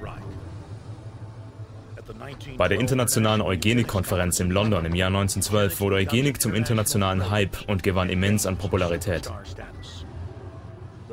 Der Futurist und Bestsellerautor im Science-Fiction-Genre H.G. Wells hatte unter hochrangigen Eugenikern Biologie studiert und verbreitete den neuen Glauben weltweit. 1916 begann die Geliebte von H.G. Wells, Margaret Sanger, Eugenik in den Vereinigten Staaten zu bewerben. 1923 erhielt Sanger erhebliche finanzielle Unterstützung von der Familie Rockefeller. Sanger schrieb an ihren Eugenik-Kollegen Clarence J. Gamble, dass schwarze Führungsfiguren benötigt würden, um als Strohmänner für Sterilisationsprogramme zu dienen, die sich gegen schwarze Gemeinden richten. 1924 schrieb Hitler das Buch Mein Kampf, in welchem er Eugeniker aus den USA als Inspiration benennt. Hitler schrieb sogar einen Fanbrief an den amerikanischen Eugeniker und Naturschützer Madison Grant. Er nannte Grants Buch The Passing of the Great Race seine Bibel. Hitler entwarf seinen Plan für die Massentötung der Juden und anderen, wie er sie nannte, Untermenschen auf der Basis von Grants Arbeit. 1929 hatte Eugenik die Akzeptanz der Massen erreicht. Die sogenannte Wissenschaft wurde in Schulen, Kirchen und auf Volksfesten in den einzelnen Bundesstaaten aggressiv beworben.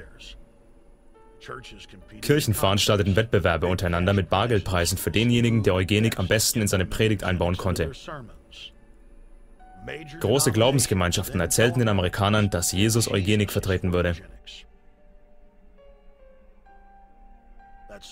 Im selben Jahr verabschiedeten über 25 Bundesstaaten in den USA Gesetze für Zwangssterilisationen. Der oberste Gerichtshof urteilte zugunsten der brutalen Zwangssterilisationspraktikeiten. Als Hitler im Jahr 1933 die Macht ergriff, verabschiedete er als eine seiner ersten Amtshandlungen Eugenikgesetze, die den Gesetzen aus den Vereinigten Staaten nachempfunden waren.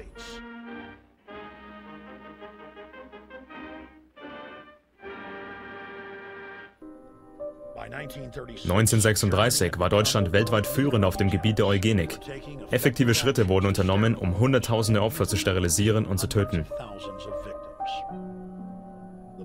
Die bedeutendsten drei amerikanischen Eugeniker, Davenport, Loveland und Goff, wurden von den Rockefellers nach Deutschland gesandt, wo sie die Nazis darin berieten, wie das System der Vernichtung ausdifferenziert werden könne.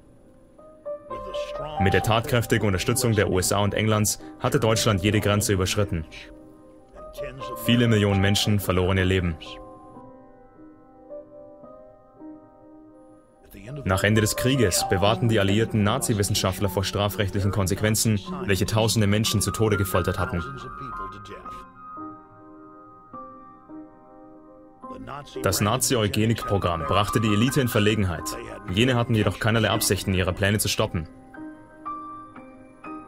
Die alliierten Mächte kämpften darum, wer die hochrangigen Eugenikwissenschaftler der Nazis bekommen würde. Es war nicht von Bedeutung, dass die SS-Ärzte Zehntausende zu Tode gefoltert hatten. Sie wurden einfach freigelassen.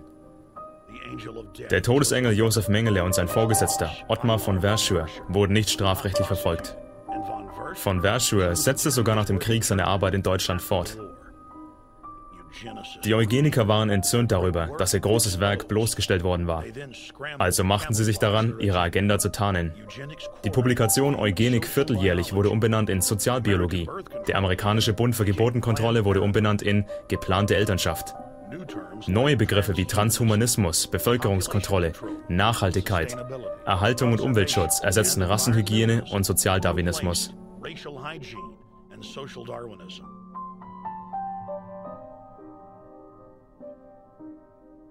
Viele Eugeniker in der Vergangenheit betätigten sich nach eigenem Bekunden auf dem Wissenschaftsgebiet der Kryptoeugenik. Sie hielten ihre Ansichten über Eugenik bewusst verdeckt und wurden in der Nachkriegszeit hochrespektierte Anthropologen, Biologen und Genetiker.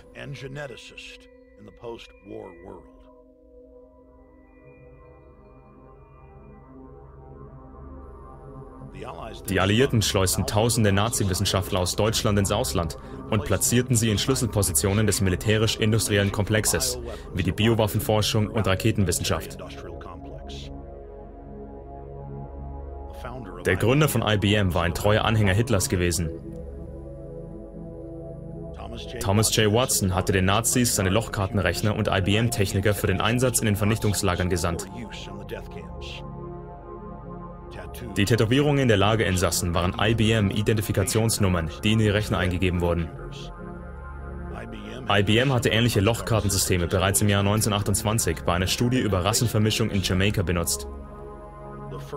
Die ersten richtigen Computer wurden von einem Eugeniker für die Verwendung auf dem Gebiet der Eugenik erfunden. Julian Huxley, ein hoher Funktionär bei den Vereinten Nationen und ein unverbesserlicher Eugeniker, argumentierte, dass die von den führenden Eugenikern gestarteten Umweltschutz- und Erhaltungsbewegungen als Vehikel für die Schaffung einer Weltregierung eingesetzt werden sollten. Gemäß der Vision von H.G. Wells sollte diese Regierung von einer Wissenschaftsdiktatur kontrolliert werden und von den Leitsätzen der Eugenik charakterisiert sein. Huxley startete den World Wildlife Fund zusammen mit dem Bilderberg-Gründer und ehemaligen SS-Offizier Prinz Bernhard von den Niederlanden sowie mit Prinz Philipp aus England. Im Falle einer Wiedergeburt würde ich gerne als ein tödlicher Virus zurückkehren, um etwas zur Lösung des Problems der Überbevölkerung beizutragen. Prinz Philipp berichtet von der deutschen Presseagentur, August 1988. Also wie ihr gesehen habt, äh, diese Leute meinen es wirklich ernst. Und ähm, was sind unsere Strategien? Wir müssen die wissenschaftliche Methode betonen. Ähm, wir reden ja die ganze Zeit über, über Bewusstseinskontrolle und Tricks und Manipulationen. Wie kann ich mich schützen vor solchen Dingen? Ich muss lernen, wie sie funktionieren. Also meine Basis, ich fing an mit diesem Basiswissen, also so mein Einstieg in die Thematik. Ich habe mich dafür interessiert, wie funktioniert das? Also wie kriegt man Leute dazu, die verrücktesten Dinge zu tun? Und ähm, wir müssen eben uns acht, müssen eben Acht geben auf, auf Desinformation. Wir müssen das Internet schützen. Wir müssen sämtliche Agendas dieser globalen Elite blockieren. Also keine, äh, keine globale Steuer auf CO2, keine Unionen, keine Kriege. Ich danke Ihnen.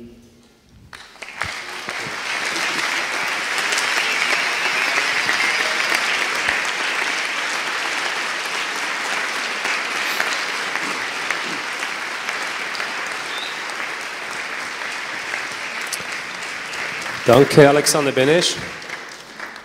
Das war dicke Post. Jetzt haben wir ziemlich viel zu kauen, ja. Mir geht es wieder über der letzten AZK. Mich zieht es wieder nach oben. Ich sehe keine Chance, dass wir das als Menschen in den Griff kriegen. Da brauchen wir echt Gottes Hilfe. Ja. Brauchen wir echt Gottes Hilfe. Und ich bin dankbar, dass man um solche weiß, dass hier ein Weg existiert, mindestens Verheißungen, die das alles wieder in den Griff kriegen. Also ich habe das recht verstanden, ich fasse es auch nochmal zusammen, ob es da Kommunismus, Sozialismus, was dasselbe ist. Alles diese Kämpfe zwischen diesen verschiedenen Politparteien und so weiter, das ist eigentlich inszeniert von ein und derselben drahtziehenden Elite. Habe ich das recht verstanden? Es ist eigentlich am besten beschrieben als das Links-Rechts-Denkmuster. Also man, ja. man, man äh, äh, verkleinert die Debatte auf diese festgefahrenen Positionen. Du bist entweder quasi links, das heißt so sozial, sozialistisch angehaucht, oder du bist entweder rechts, das ist so alles von konservativ wird damit eingeworfen. Und Leute behandeln das Thema bei den Wahlen wie ihr Fußballteam. Oh, wir waren immer Republikaner, wir werden republikanisch, wir waren immer Demokraten und äh, äh, ich mag diese Sache nicht, also ich wähle jetzt den Demokraten. Also es ist wirklich eine, eine unzulässige und auch gefährliche Einschränkung der Debatte. Also lasst euch dann irgendwie, das ist ja der Parteienstaat, vor dem auch äh, Professor Schachtschneider gewarnt hat im Interview. Weil der Demokratie laufen die Demokraten davon. Wir sehen immer mehr Umfragen, wo es dann heißt, ja, also so und so viel Prozent in neuen Bundesländern wünschen sich zurück in den Sozialismus. Dann fragen wir sich, wieso? Äh, das ist nicht weil die Leute keine Demokratie wollen, das ist, weil die Leute Demokratie verwechseln mit dem heruntergekommenen Parteienstaat, der eben auch schön von außen gelenkt werden kann. Ich brauche nur die Top-Leute in den großen Parteien haben. Alles andere, die laufen eh nur hinterher. Ich möchte den Sack insofern zusammenbinden nochmal. Ich möchte nochmals die Anfangsziele der AZK nochmal zusammenfassen. Was wir heute gehört haben, das sind äh, von allen möglichen Richtungen einfach Stimmen, die man eigentlich selten bis nie zu hören bekommt. Und was ihr heute gehört habt, das hat keinen inneren Zusammenhang in dem Sinn, dass diese Referenten jetzt miteinander arbeiten würden oder äh, dasselbe denken würde, der eine wie der andere. Jeder arbeitet für sich selber, ist für sich seine Stimme. Kann sein, dass wir hier völlige Dinge gehört haben, die uns völlig gegen den Strich gehen. Aber es geht um Information. Ich möchte das nochmals betonen. Es geht nicht um Urteile zu bilden heute. Es geht nur um zu hören, es mitzunehmen, es zu bewegen, es zu beobachten im weiteren Alltag, in der weiteren Zukunft. Wenn Baustein um Baustein dazukommt, wenn diese Grundlagen gelegt sind, kann man es besser sehen, ob sich das so verhält oder nicht. Also soll mir jetzt niemand nach Hause gehen, Beispiel, jetzt irgendeine Revolution starten, weder auf der einen noch auf der anderen Seite, ihr geht nicht nach Hause, ist nicht unsere Meinung und werft jetzt eure Medikamente weg, sagt den Ärzten ab und sterbt uns nachher und nachher hinterher steht in der Zeitung, das haben sie in der AZK von äh, Herrn Baumann gelernt oder so. Geht weise damit um, wenn ihr experimentiert, dann so, dass ihr, wie soll ich mal sagen, dass ihr sicher im Griff habt. Gebt euch nicht einfach blind irgendwelchen äh, äh, Dingen preis. Achtet darauf, was das Herz spricht, auch in der Zukunft. Und dann glaube ich, wird es gut kommen. Gut, ich möchte den Referenten noch einmal herzlich danken, dass ihr bei uns wart, dass ihr euch die Zeit genommen habt, dass ihr auch mutig hingestanden seid für diese Dinge, die ihr erzählt habt. Ich denke, wir haben alle gespürt, dass das nicht so ganz ohne ist, über diese Dinge zu reden. Ich sage es nochmal, in meinen Augen sind das Helden, die den Mut haben in dieser Zeit, einfach gegen den Mainstream solche Dinge einfach mal zu äußern. Es ist echter Journalistenmut, ja, wie es im Kodex der Journalisten steht, ohne Rücksicht auf eigene Verluste. Und darauf wollen wir uns auch berufen. Es geht um Informationsrecht. Das Volk hat allererste Priorität in Information.